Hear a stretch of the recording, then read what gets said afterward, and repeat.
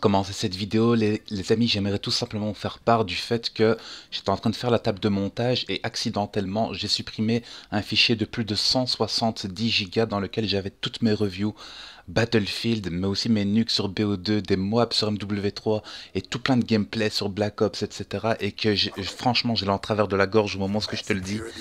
J'ai une rage indescriptible, je vous jure que c'est vrai parce que il s'agit quand même des heures euh, de montage, de travail, etc. Et que je tiens à m'excuser. Donc, euh, parfois, je parlerai du gameplay au fur et à mesure que, on va dire, euh, je serai en train de commenter, même si le gameplay est vraiment secondaire dans ce type de vidéo.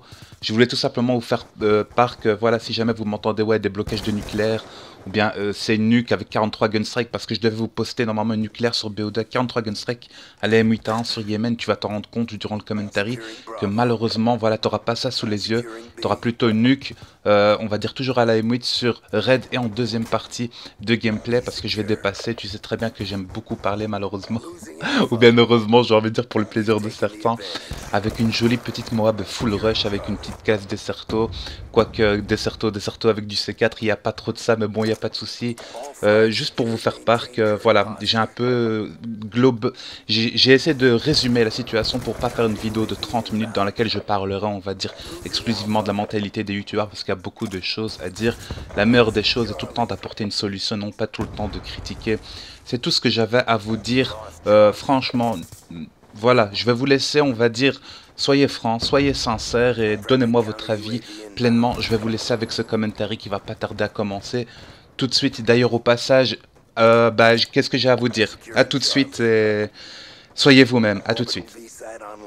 Salut à tous les gamers, gros Ni7 aux commandes aujourd'hui de ce qui va être le troisième et tout dernier épisode de ma mini-série, la, ma vision de YouTube. Donc aujourd'hui c'est le 3.0 et je vous avais promis de vous parler tout simplement de la mentalité des youtubeurs ou en tout cas de quelques-uns que j'ai pu éventuellement côtoyer ou de ce que j'ai pu observer principalement. Je vais être franc et direct et sincère avec vous.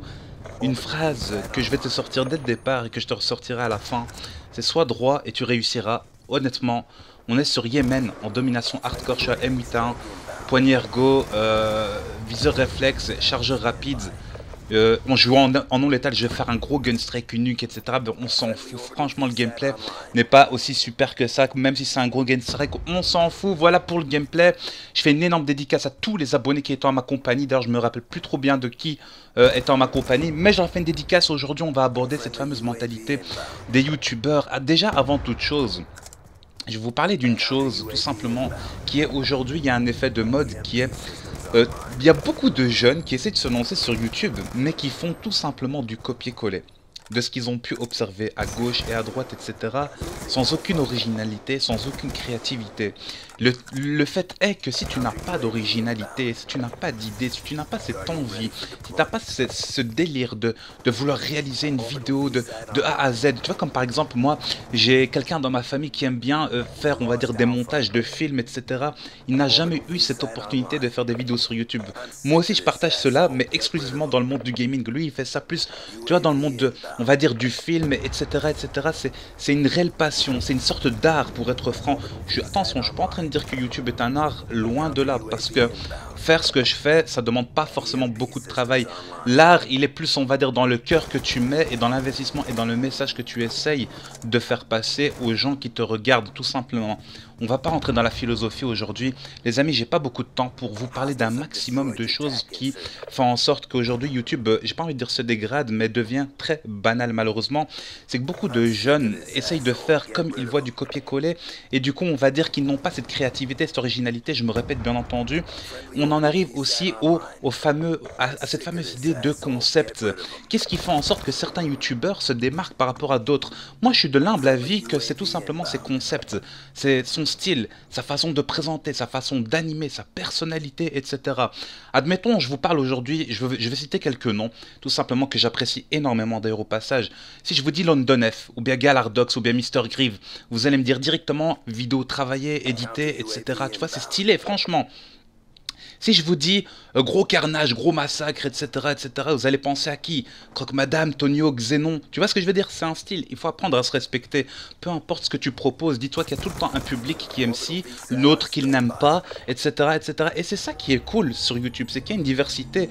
Quand bien même il y a certains qui se chamaillent, on va dire parmi ceux que j'ai cités, etc., il n'y a, a, pas de souci. Je veux pas rentrer dans les délires. Moi, je rentre pas dans les affaires des autres, comme on dit. Il y a un proverbe qui dit qu'il faut pas se mêler, tout simplement. Je te le citerai pas, hein, parce que je l'ai oublié, pour être franc. mais n'y a pas de souci. Tu vois, mais faut pas se mêler, faut pas mettre, faut pas mettre ton gros pif dans merde dans les affaires des autres, ok? Et je reprends l'accent québécois et je fais une dédicace à tous les Québécois qui me regardent d'ailleurs au passage. Donc voilà, très important, la diversité, elle est importante sur YouTube.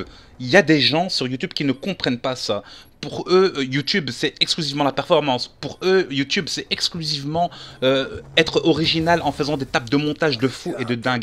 Il y a des gens qui n'ont pas besoin de faire de montage pour que leurs vidéos soient appréciées et, on va dire, regardées agréablement. Je pense notamment, par exemple, à mon ami Jaya, qui a une présence tellement exceptionnelle dans ses vidéos. Et attention, je le connais depuis quand même pas mal de temps maintenant. Et je peux vous dire qu'il est hors du commun et que voilà, c'est un style qui me plaît, mais qui va pas te plaire à un petit Michel ou un Frédéric de 12-13 ans, qui va plutôt aimer, on va dire, des vidéos, on va dire comme par mon ami Prime Time, qui lui fait des vidéos très rigolotes, très marrantes, qui sont d'ailleurs tout public, que tu sois jeune ou âgé. Je suis pas en train de faire leur pub, hein. c'est tout simplement pour vous dire que faut apprendre à respecter la diversité et ce que les uns aiment, les autres n'aiment pas, mais c'est pas pour autant qu'il faut cracher ou dire Ouais, lui c'est le meilleur, non, c'est lui le meilleur parce qu'il m'a fait rire, etc., etc. Ça sert strictement à rien. Donc le concept fait en sorte que la personne se démarque des autres youtubeurs qui gagnent un certain public, etc. On en vient à cette idée justement du plagiat.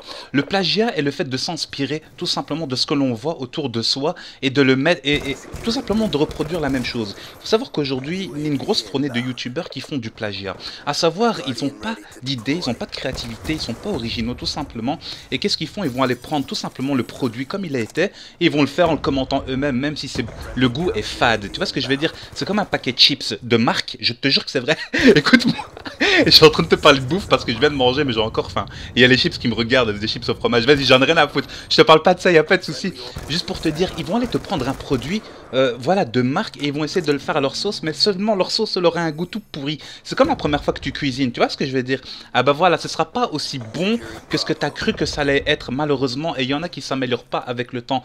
Juste pour vous dire, si c'est pour faire du plagiat de certains concepts, etc., ça sert strictement à rien. Après, maintenant, il y a des gens qui parlent de plagiat pour un autre domaine sur YouTube. Notamment, ils disent Ouais, un tel youtubeur plagie parce qu'il a fait des vidéos sur le même jeu. Vous êtes des fous, les gens qui disent ça. Le jeu, il est là, ok? Le jeu, il est là. Le jeu, il appartient à tout le monde. Il n'y a pas de souci. C'est ce que tu vas en faire. C'est la façon dont tu vas le présenter. C'est la façon dont tu vas peaufiner ta vidéo, dont tu vas la faire vivre, dont tu vas créer ton propre média qui va faire en sorte que justement, soit tu as plagié un mec en reprenant toutes ses idées majeures et principes, etc. Soit tout simplement tu l'auras pas plagié. Pourquoi? Parce que tu l'auras fait à ta sauce. Je pense notamment au tweet longer que j'ai vu de Squeezie. Euh, on va dire qu'il subit très souvent malheureusement la communauté FR qui est beaucoup pour très nombreux, très rageuse, etc. Attention, je dis pas tout le monde, mais une grande partie. Et je suis pas de euh, du genre de mec à défendre Squeezie, etc. franchement, je respecte ce qu'il fait, etc. Il y a des vidéos à lui que j'apprécie, d'autres que je n'apprécie pas forcément. Je suis pas là pour le clasher, loin de là. Mais il faut respecter, comme je vous l'ai dit, la diversité. Il y a des gens qui apprécient, d'autres qui n'apprécient pas forcément. C'est tout. C'est comme ça. Et il plagie pas PewDiePie, comme beaucoup de gens le disent, même s'ils font les mêmes jeux, etc. Il a une façon de présenter qui lui est propre. Même si ça pourrait laisser croire le contraire. Arrêtez, s'il vous plaît, les gens. Ça n'avance strictement à rien. Moi, j'ai l'impression que les gens qui passent leur temps à rager et à critiquer comme ça sur YouTube, ils n'ont pas de vie en dehors de cela. Ils font que se plaindre, que se plaindre. C'est une signe, on va dire, de la maladie de l'âme, pour être franc. J'ai pas envie de rentrer dans la philosophie des blocages de nucléaire d'air au passage, on s'en fout. En passant justement donc du plagiat, le produit, il est le même, le jeu à la base. La façon dont tu vas créer ton média va faire en sorte que soit oui, tu plagies la personne, soit non, tu ne la plagies absolument pas. Il y a aussi des gens qui plagient ce qui fonctionne bien dans le commentary. Donc je ne vous parle pas juste du produit. Admettons certaines expressions, certaines mimiques, etc. Et ils s'inspirent des gens et quitte à ne plus être, on va dire, naturels dans leur façon de commenter, ce que je trouve exécrable pour être franc. Franchement, il y a beaucoup de gens. Et tu vas me dire, oui, mais toi aussi, Grony, tu fais la voix du papa comme Jaya, etc. Il faut savoir que c'est un personnage, cette fameuse voix du papa, et que j'ai déjà discuté avec Jaya. Moi, je l'ai appelé après la voix du dodu, que je sors quand je... Tu vois, j'ai un gros shotgun, je le prends, etc. Lui, il le fait un peu tout et n'importe comment etc. C'est clair, je me suis fortement inspiré, mais je l'ai jamais nié. C'est ça qui est bien. C'est que rendons à César ce qui appartient à César. Il n'y a pas de souci. Je l'utilise rarement cette voix. C'est pas ma personnalité à 200%. Elle c'est aussi un personnage de dingue. Et il m'a dit attention Grony parce que si tu, il m'avait dit ça une fois. Il m'a dit si tu commences à faire trop de fois la voix du papa, etc. Il m'a dit ça va devenir un piège. Et je te jure que c'est vrai. Et il t'avais raison. Je t'ai fait une grosse dédicace d'ailleurs. Au passage, a aussi cette fameuse mentalité principalement entre jeunes youtubeurs qui sont entre guillemets dans des clans, une idée qui me répugne pour être franc. Euh, voilà le fait de se séparer, de ne pas pouvoir apprécier un travail à sa juste valeur et de se dire moi je fais partie d'un clan ou d'un autre, etc. Moi il faut savoir que j'ai plusieurs connaissances sur YouTube et que ça ne m'empêche absolument pas d'apprécier ou de liker une vidéo d'un tel ou d'un autre, etc. Peu importe qu'il y ait des chamailleries ou des disputes et justement ce sera le sujet, euh, on va dire, euh, de ce moment-là de la vidéo entre telle personne et une autre, malheureusement. C'est que voilà, par exemple, j'ai des amis de la MLP, j'ai des amis de la Rage, j'ai des amis de la Reborn, etc., etc. On parle principalement en termes de Call of Duty. C'est là que tu vas me dire, ouais, mais ça c'est exclusivement pour la communauté COD sur YouTube, etc. Non, pas forcément. Il faut savoir que même si je suis un YouTuber COD, je suis beaucoup de, de YouTubers qui font du Minecraft et aussi de Let's Play, etc. Je ne vous citerai pas leur nom, mais franchement, j'apprécie grandement. Juste pour vous dire, il faut, ça ne veut pas dire que l'un de vos amis il est en tort, qu'il faut absolument l'aider. Il faut plutôt le conseiller. Sois juste dans ton amitié. Honnêtement, ça c'est quelque chose que j'ai à te dire.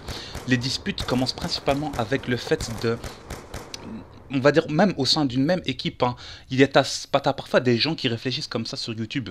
Tu m'as pas liké alors que je te, alors je te like pas. Tu m'as pas commenté alors je te commente pas. Et je hais cette mentalité qui coulolesque de gamin de merde. Je vous le dis clairement parce que YouTube, si comme tu le dis dans tes vidéos, c'est réellement on va dire destiné à propager ce que tu aimes, à proposer un contenu, un média, euh, on va dire qui te représente, euh, on va dire toi et ta personnalité ou tout simplement ta façon de jouer, etc. Ou ce que tu aimes faire. Tu ne dois pas t'attendre à ce que tes amis, on va dire, ils soient tout le temps là pour toi, etc. Si c'est vraiment tes amis, ils le font sans même que tu leur demandes. Franchement, je vais être franc avec vous, j'ai jamais demandé de like à mes amis, mais parfois je leur dis quand il y a une vidéo que j'ai vraiment envie qu'ils voient, de venir la regarder, éventuellement même de la liker, mais je n'insiste jamais sur ce fait-là et ils le font de gaieté de cœur. Et là, on va dire mes amis sur YouTube, je vous inviterai vraiment à témoigner de cela parce que je tiens à garder, on ma sincérité et ma, ma manière d'être naturelle, tout simplement, même dans le monde virtuel. Voilà, donc je vous ai également parlé des effets de mode de cette fameuse mentalité sur YouTube. Donc des gens qui s'inspirent beaucoup des disputes, euh, des gamins comme ça. J'ai l'impression parfois, tu vois, ces clans-là euh, sur YouTube, principalement sur COD, je vais être franc aussi avec vous parce que j'en connais pas mal. Hein. Ils se disputent souvent. Ouais, tu m'as pas liké, alors je te like pas. Ouais, un tel, un tel, et les médisances euh, entre eux, etc.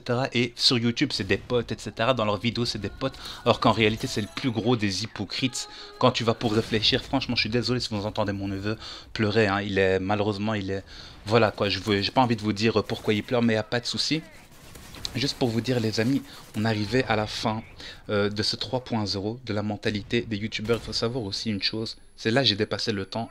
Je parle avec mon cœur, franchement, tout le monde n'est pas comme ça sur YouTube. J'ai eu l'occasion de faire de formidables rencontres, je vous jure, humainement parlant. Et j'ai toujours fait en sorte que les relations humaines, elles priment sur le côté, on va dire, intérêt. Parce qu'il y a beaucoup de gens qui se fréquentent sur YouTube par intérêt. Admettons, tu as des petits YouTubeurs qui vont fréquenter, euh, voilà, on va dire, qui vont essayer de fréquenter des plus gros YouTubeurs tout simplement pourquoi? Pour avoir un like ou un commentaire, ou qui sont en ce box, ou si, ou ça. Et je hais cette mentalité, je vous l'ai dit, c'est une mentalité hypocrite. Au bout d'un moment, malheureusement, quand tu as de mauvaises expériences, tu fais en sorte de t'éloigner tout simplement euh, de cela. Donc en gros, tu ne leur accordes plus trop d'importance. Par contre, il y a un sujet que j'avais envie d'aborder, et ça, c'est un sujet euh, D'ailleurs, je, vais vous mettre un gameplay sous les yeux parce que je peux pas rester comme ça. Je suis désolé, je sais pas du tout quel gameplay je vous aurais mis sur les yeux, mais il n'y a pas de souci. Euh, qu'est-ce que j'allais vous dire? Donc tout simplement le fait qu'il y a parfois des youtubeurs qui sont très haut placés, on va dire sur YouTube pour pas citer de nom, qui connaissent pertinemment bien la qualité du, travail d'un certain youtubeur en question. Je vous jure que c'est vrai. Et ça peut être X youtubeur ou Y youtubeur, vous pouvez les connaître ou ne pas les connaître forcément. Généralement, on va dire qu'ils n'ont pas une grande notoriété, ils pourraient les mettre en avant en likant ou en, en essayant de les faire connaître, etc. Ça ne tiendrait qu'à eux, ça les honorerait, on va dire, ça honorerait leur comportement, franchement. Mais on va dire comme YouTube est devenu leur travail, ils vont jamais te liker, ils vont jamais te commenter, ils vont jamais te mettre en avant, ils vont mettre en avant tout simplement leurs potes, quand bien même leurs potes font de la médiocrité. Et je hais ces chaînes poubelles, je vais être franc avec vous. Arrête de crier donc je vais être franc avec vous, ces fameuses chaînes poubelles, on va dire de gens euh, qui arrivent sur YouTube qui n'ont ni talent et tout, mais parce qu'ils connaissent X gros YouTubeur qui a X abonnés, ah ben, il va gagner directement des abonnés grâce à qui? Grâce à son pote YouTubeur qui est haut placé. Et le pire, ce que j'aime pas, c'est la mentalité des gens qui vont aller s'abonner parce que euh, un tel YouTubeur leur a dit allez vous abonner. Non, je suis désolé les gens, vous vous abonnez c'est tout simplement pour votre plaisir. Est-ce que la personne en question vous propose quelque chose qui vous intéresse, etc., etc. Tu vois, c'est ça que je veux c'est ça que le message aussi que j'essaye de faire passer aussi, on va dire, je vous ai parlé des, donc, euh, des deux côtés. Donc les petits youtubeurs qui essayent souvent par intérêt de gratter les gros, mais aussi les gros, on va dire, quand ils trouvent un plus petit youtubeur qu'eux, on va dire, ne vont pas forcément, et qui fait du bon travail, et qui vont pas forcément, on va dire, les mettre en avant. Donc ça va dans les deux sens. L'injustice, elle va dans les deux sens, et je trouve que c'est terriblement débile, malheureusement. Personnellement, j'hésite pas à liker, on va dire, euh, voilà, des gens qui ont beaucoup moins d'abonnés que moi, mais pourquoi? Parce que leurs vidéos elles sont propres, elles sont agréables à regarder et puis aussi cette ambiance saine, propre du mec qui va se poser une fois par semaine, qui va réaliser justement sa vidéo et que voilà, moi, moi je te jure ça me fait trop plaisir. J'ai pas perdu mon cœur dans cette aventure, même si j'arrive aujourd'hui aux 39 000 abonnés. D'ailleurs, je vous en remercie du fond du cœur pour être franc. Voilà, qu'est-ce que j'allais vous dire? Ça va être une très très longue vidéo, mais j'ai envie de clôturer euh, cette fameuse vidéo. Je vous inviterai d'ailleurs à mettre plus de 1000 likes sur cette vidéo. Et cette fois-ci, je te demande de mettre un like, tout simplement parce que c'est le dernier du chapitre et que les deux dernières seront en outro. Donc les deux premières vidéos de ma vision de YouTube seront dans l'outro, bien entendu à venir tout simplement tout un tas de lives. Je vais vous proposer pas mal de mini lives de frag movie. N'hésitez pas à aller voir la frag movie qui est sortie juste hier d'aéropassage et pas mal de streams, etc. avez des questions, j'attends vos avis aussi dans l'espace commentaire. N'hésitez pas. J'essaierai de faire de mon mieux pour répondre à la majorité d'entre vous. Portez-vous bien. C'était Grony7 pour la troisième et dernière vision de YouTube concernant la mentalité des YouTubeurs. Portez-vous bien à la prochaine. Allez, ciao les gars. À plus. Bye bye.